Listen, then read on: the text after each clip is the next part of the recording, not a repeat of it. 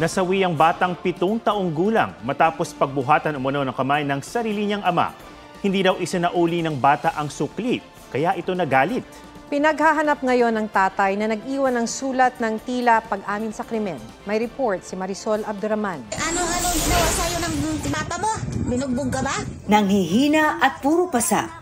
Ganito ang sinapit ng pitong taong gulang na si Catherine Joy C.J. Lured nang dalhin sa ospital.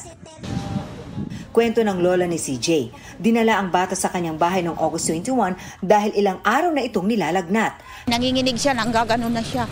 Tapos po, hirap na hirap siyang huminga. Nang tanungin kung ano ang nangyari, ikinuwento ng apo na minaltrato siya ng sariling ama na si Carlo Dani. Binatukan ako yung yung kuka, kuhanin ko sukle kasi 37 yung dala ko. Inutosan daw siya bumili, 37 pesos daw ang dala niyang pera.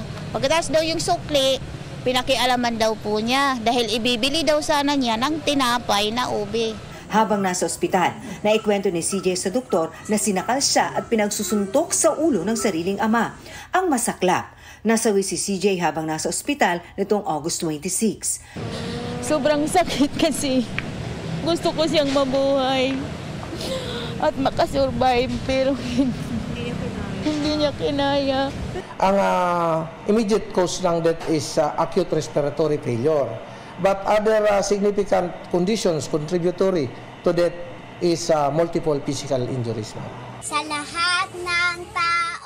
Labis ang pagsisisi ni Margarita na hindi niya kinuha ang mga apo, lalo't matagal na raw sinusumbong ni CJ ang kanyang ama. Kung hindi lang nila kinuha yun, hindi naman po yun mamamatay.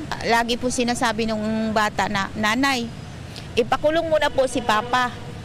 Kasi salbahe siya. Kwento ng nanay ni CJ, maging siya ay sinasaktan ng kanyang mister. Minsan naaabutan ko na sinasaktan niya yung bata. Nag-aaway kami dalawa. Siyempre ako bilang ina, pahayaan ko ba na masasaktan yung anak ko? Hindi na mahagilap ngayon ang ama ni CJ na nag-iwan pa raw ng sulat bago umalis. Inihahanda ng reklamong parricide laban sa suspect na large na ngayon. Makabubuti raw ayon si MPD na sumuko na siya sa mga otoridad.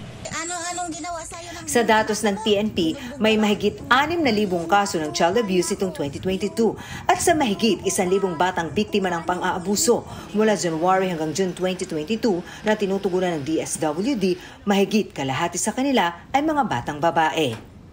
Marisol Abduraman, nagbabalita para sa GMA Integrated News.